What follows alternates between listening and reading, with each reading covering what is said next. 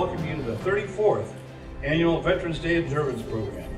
We are here to honor those who have served. to honor those who sacrifice so much for this country by simply thanking them for all they have done. Not through simple words, but to tell their stories, to tell their names, continue their legacy for generations to come, to relish within your freedom. The ability to simply go outside and buy food without worrying about potential attack. The ability to vote for whichever governmental candidate one decides to be best. The freedom to debate our government's choices all rights afforded to us by the sacrifice of our veterans.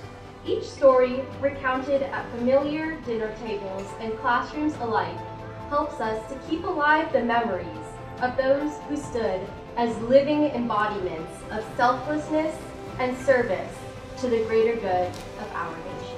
I want all the heroes before me today to know that the people of my generation still honor all those who served and those who continue to serve. Resilience and courage come in many forms. Sometimes it's simply getting out of bed each morning to face another day. The sweetness of enduring peace has always been tainted by the bitterness of personal sacrifice. That while we enjoy our daily pleasures, there are others who have endured and may still be enduring the agonies of pain, deprivation, and internment. At this time, we will pause to recognize our POWs and MIAs. They are unable to be with their loved ones, so we join together to pay our humble tribute to them and bear witness to their continued absence.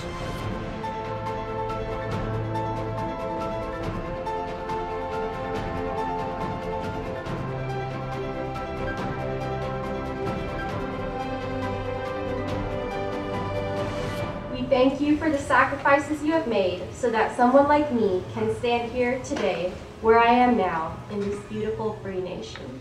Thank you.